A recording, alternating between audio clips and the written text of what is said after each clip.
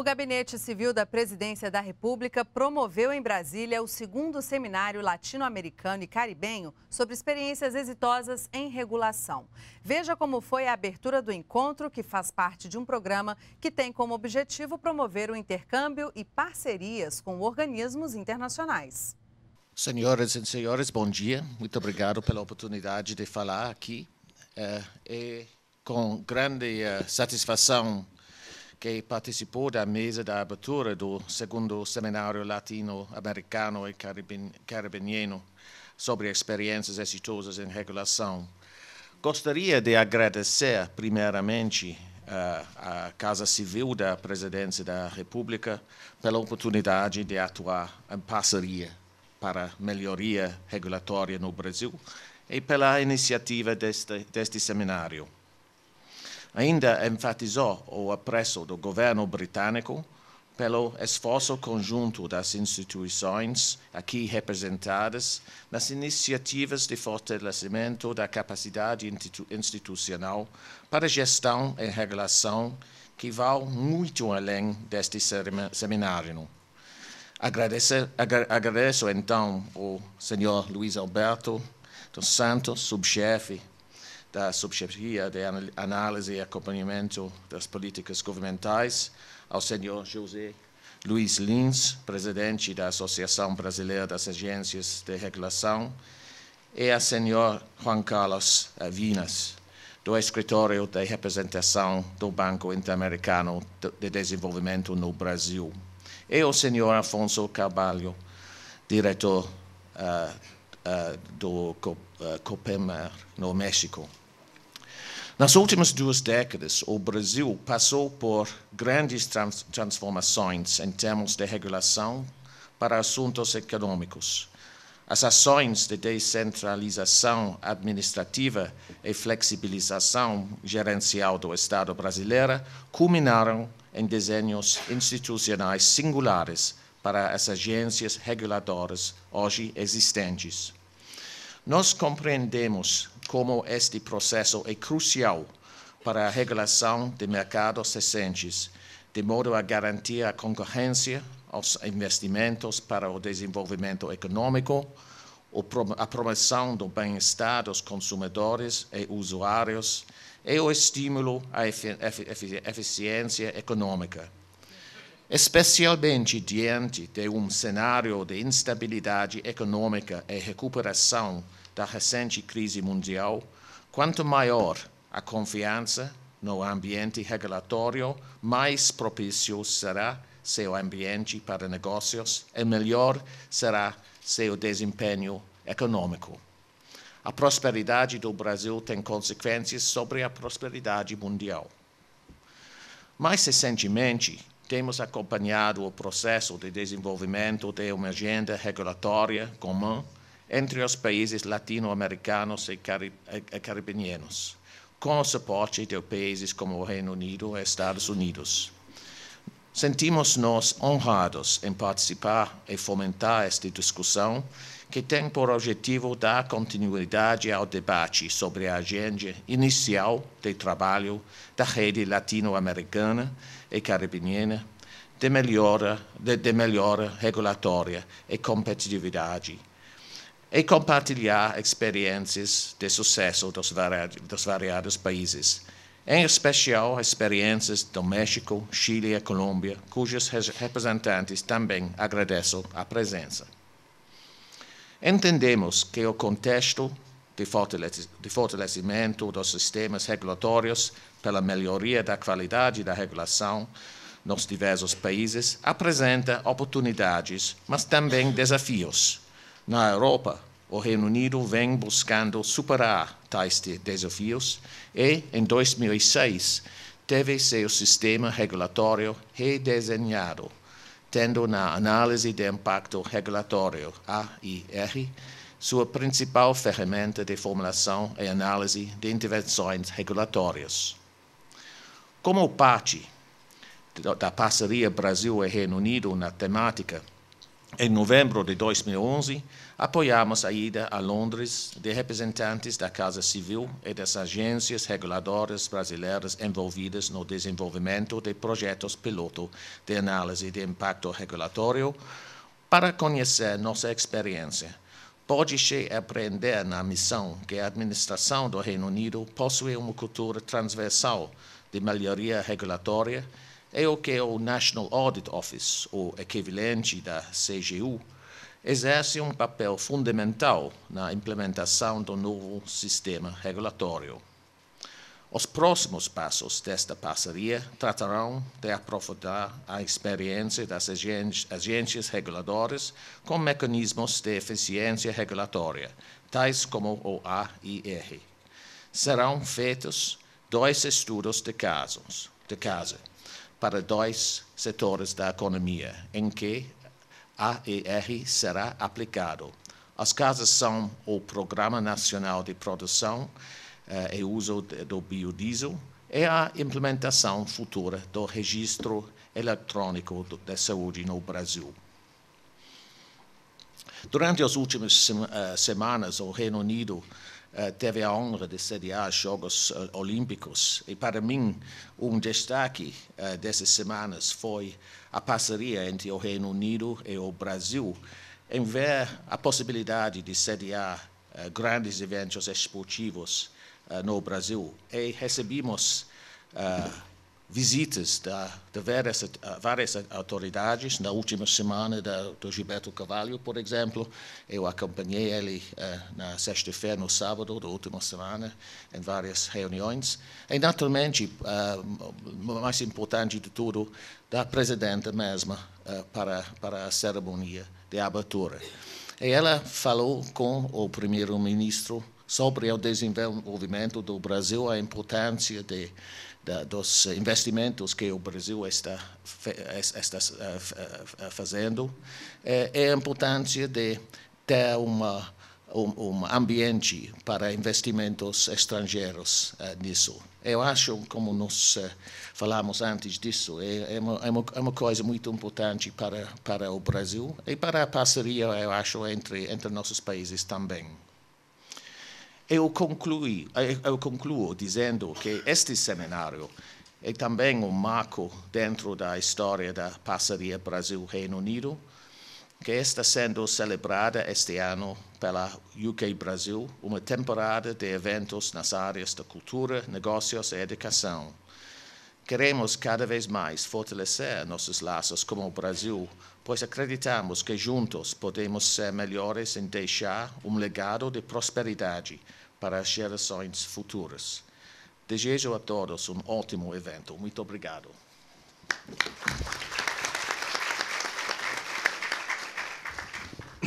Passo a palavra ao Dr. Juan Carlos Vinhas, do Banco Interamericano de Desenvolvimento, também para dirigir-se, uh, dirigir suas palavras aos nossos convidados. Bom dia.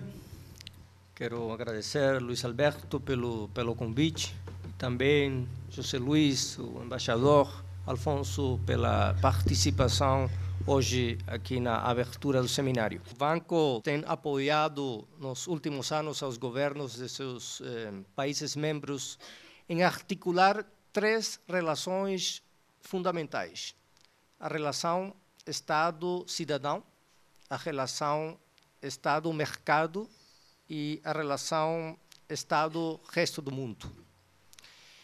E o banco, e por quê? O banco uh, busca fortalecer essas articulações para fomentar a participação e o controle cidadão sobre a gestão pública, para aumentar a accountability dos uh, gestores públicos e para melhorar, que eu acho que é um dos temas mais críticos, mais importantes, melhorar a alocação dos eh, recursos no desenvolvimento econômico e social. O relacionamento Estado-mercado nesse contexto é crítico, sendo requerida a intervenção do Estado, estabelecendo os marcos regulatórios com vistas a assegurar a competência e eficiência naquelas áreas onde existem e continuam certas imperfeições de mercado. o PROREC, Programa de Financiamento do BID, tem sido um, não só uma fonte de financiamento, senão também um veículo para mobilizar inovações e para facilitar e apoiar os esforços de modernização do Estado. A agenda do seminário permitirá avançar na identificação dos instrumentos de gestão e dos mecanismos de coordenação que têm melhorado a qualidade regulatória em alguns países da região. E, nesse contexto, é o mandato para o BID facilitar a troca e o intercâmbio de boas práticas entre os países membros. E também compartilhar experiências e lições aprendidas para encarar um dos grandes desafios do momento: promover a competitividade e melhorar a produtividade das economias da região. Finalmente, eu gostaria de agradecer de novo às autoridades brasileiras pela distinção e pela confiança de ter o banco como parceiro no processo de fortalecimento de suas capacidades de gestão das políticas públicas que afetam aos setores em que as agências reguladoras atuam, assim como apoiar os mecanismos de controle social nas atividades regulatórias. Vamos continuar essa parceria ainda mais forte e, de novo, agradecer o convite e a participação dos companheiros aqui na mesa. Muito obrigado.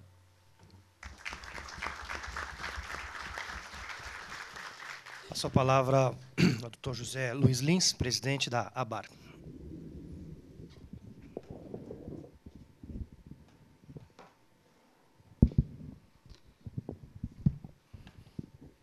Meu bom dia a todos, meu cumprimento aqui à mesa, na, na pessoa do Luiz Alberto, a meus companheiros dirigentes de agência presentes ao evento, o, o Vinícius da Agência do Distrito Federal, Luiz Paulo do, do Espírito Santo e Humberto lá de Goiás.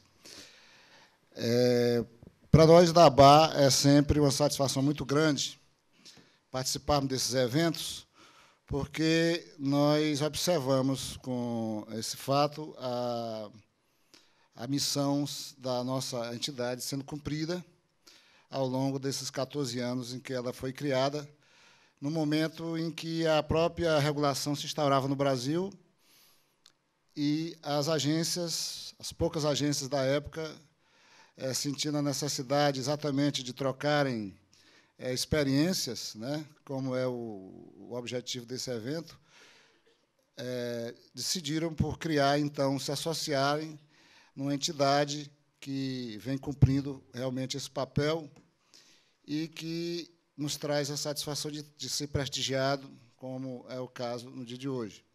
Porque a Baira não foi criada como associação com o objetivo de defesa meramente corporativa das suas agências, mas, sobretudo, para facilitar esse trânsito de conhecimento entre as próprias agências e a relação delas com a, a sociedade como um todo, inclusive com o governo. E foi citado aqui o, pelo Luiz Alberto um dos momentos importantes da associação, que são os congressos da ABA, que se realizam a cada dois anos. O último passado aqui, em, no ano passado, em, aqui em Brasília, organizado pela DASA, e que teve um grande efeito positivo, tanto para a associação como para a regulação, e que, à época, contou com o apoio do PROREG e do BID.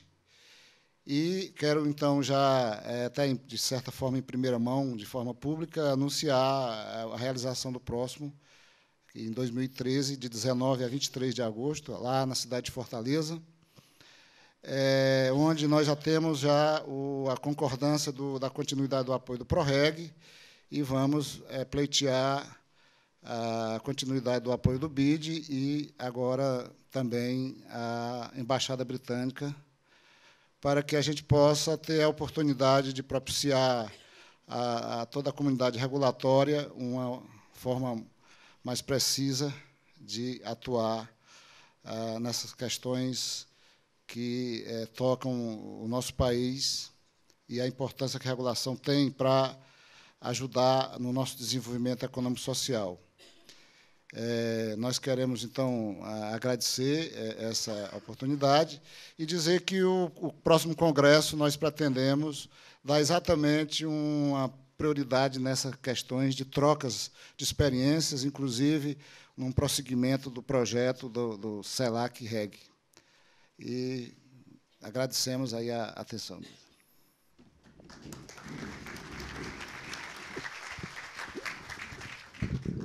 Muito obrigado, José Luiz. Finalmente, passo a palavra ao Dr. Afonso Carvalho, é, diretor-geral da COFEMER.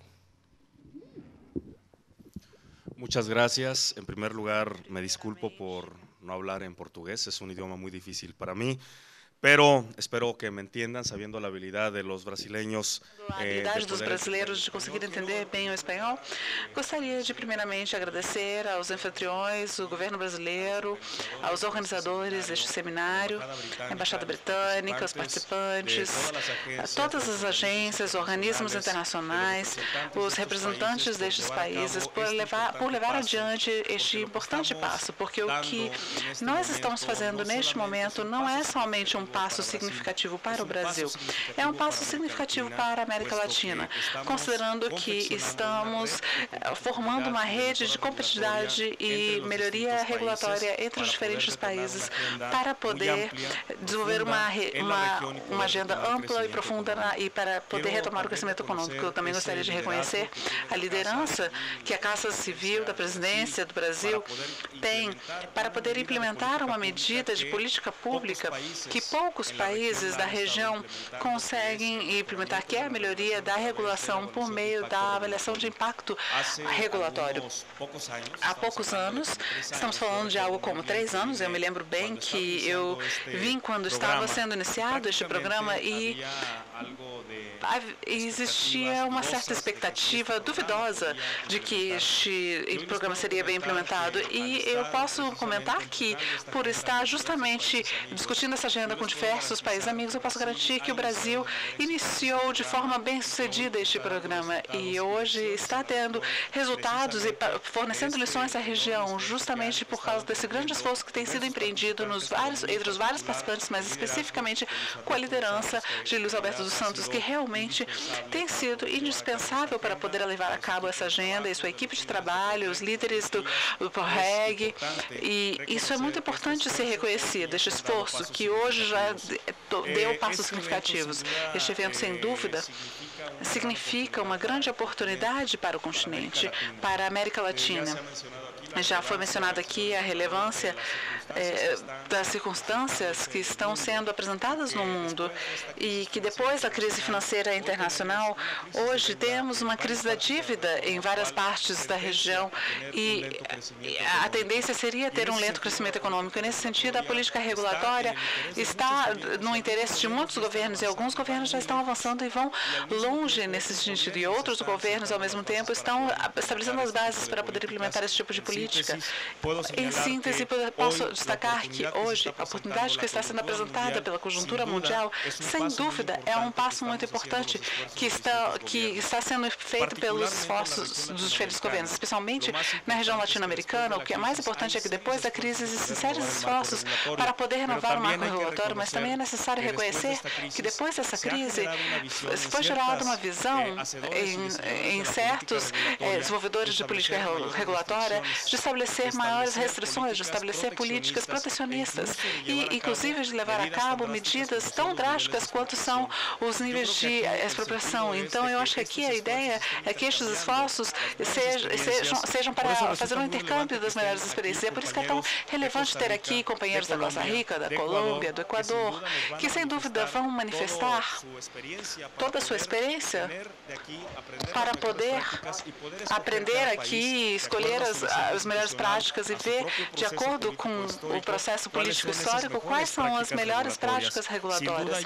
Sem dúvida, eu acho que este seminário é, é, serve como mais um passo para a experiência dessa rede que nós estamos formando para a região, porque, sem dúvida, é necessário empenhar maiores esforços para poder retomar este crescimento. E, para terminar, eu quero propor a todos que o desafio de que continuemos trabalhando nesta mesma dinâmica como começamos já há muitos anos nos vários países, os esforços que estamos propondo hoje aqui em Brasília, sem dúvida, precisamos levá-los a outros países, outros países e com o apoio das diferentes agências internacionais, com os diferentes especialistas que estão aqui conosco hoje neste seminário, vamos posicionar essa agenda que em breve dará Agradezco la invitación a nombre de todo el gobierno de la República de México y al mismo tiempo de los que estamos participando en este seminario, pero al mismo tiempo queremos reconocer estos esfuerzos que hoy la Casa de Gobierno del Gobierno de Brasil, Civil está implementando en beneficio de la competitividad de este país. Para beneficiar a competitividade deste país. Muito obrigado. Muito obrigado, Alfonso. Eu não poderia encerrar os trabalhos dessa mesa de abertura sem fazer referência especial a dois fatos importantes. Um deles já também mencionado aqui pelo Dr. José Luiz, pelo embaixador Alan Sharpton, que é a iniciativa que, a partir de uma ação conjunta dos países latino-americanos e caribenhos, vem tomando corpo a cada dia, que é precisamente a criação eh, da rede latino-americana de melhora regulatória e competitividade, cuja institucionalidade nós estamos buscando viabilizar por meio da comunidade de estados latino-americanos e caribenhos. Tivemos, inclusive, ontem uma reunião de trabalho muito proveitosa, discutindo o termo de referência a ser encaminhado oficialmente à CELAC, com o objetivo de formalizar a existência dessa instância no âmbito eh, da CELAC, mas trata-se de uma iniciativa que eh, visa precisamente estabelecer mecanismos formas de eh, troca de experiência e que certamente contribuirão enormemente eh, para que todos, todos os objetivos aqui mencionados sejam atingidos e que se possa efetivamente construir um espaço institucional de diálogo, de troca de informações e experiências que, val que valorize as experiências de cada país no seu contexto e permita aos demais países recolher dessas experiências aquilo que seja útil para a sua própria experiência.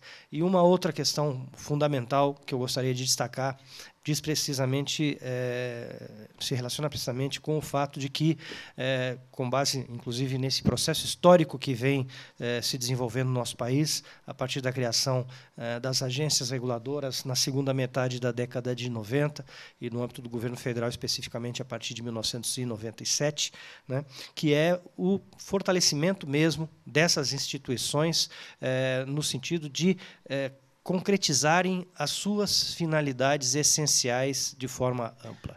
Essa tem sido uma trajetória é, praticamente é, inevitável, né? mas que depende, sobretudo, da forma como os governos veem o papel das agências reguladoras e materializam, apoiam a materialização deste papel.